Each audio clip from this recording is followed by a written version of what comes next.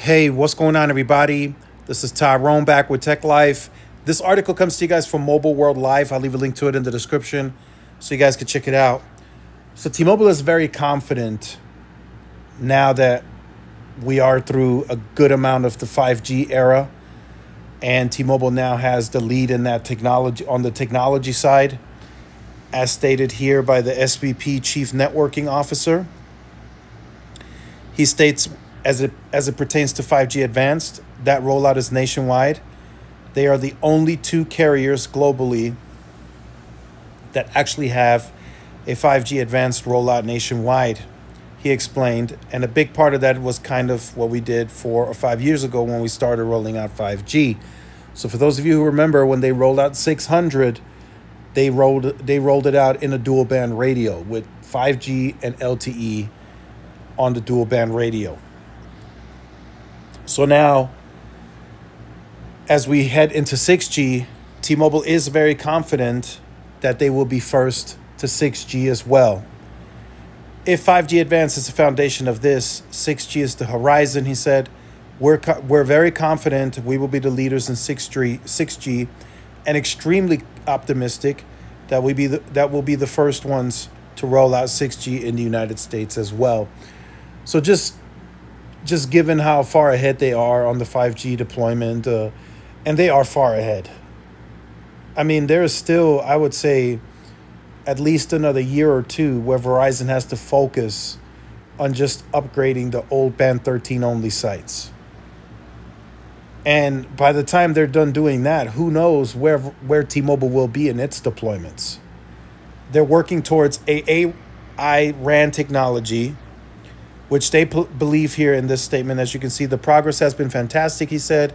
This is a technology that I think we will innovate in the United States and the rest of the world will follow. They think now they're innovating a technology in AI RAN, which is intent based networking that the rest of the world will adapt. And when they say the United States, of course, they're talking about Verizon and AT&T. So he says here, while it's not yet 6G, T Mobile is in early trials for intent based networking, including real time optimization of the network during weather related emergencies. So they're doing some of that now. I, I believe it's called uh, SON Self Optimizing Network that can optimize in real time. But if you take that to the next level in into 6G, I mean, again, the term intent based networking, I mean, you can move workloads in real time, which is, you know, you can shift it, move it over if more resources are needed on the certain side. You can do all of that in real time, which gives you huge advantages on the network. So that's where we are optimizing our network on a minute by minute basis through our self organizing network. Self organizing is what it's called. He said that's that's a start of the intent based networking journey. That's just the beginning. Like I said, when you're able to do that in real time, I mean, you can move loads of work almost instantly in seconds where okay, this business needs home internet right away. There's a bigger workload coming. The network can can take care of that in seconds because it's it'll be smart enough to handle that. We won't see it because that's how quickly it'll happen in real time. So it's interesting. T Mobile is, I don't want to say quiet about 6G, but they're so far ahead on 5G today that they've been able to already move into 6G trials and testing behind the scenes. And it has them optimistic that they will be first to 6G as well. So the 5G advanced journey is far from over, of course. Like we have L4S now, RedCap. The RedCap is being being used by watch uh, the uh, Apple smartwatch right now, the Apple Ultra, Ultras and the, the, the Watch Series 11. They're using the RedCap. And I'm sure there's going to be some other IoT devices that will adapt RedCap. That's that's essentially the IoT of 5G. And the future's bright at T-Mobile.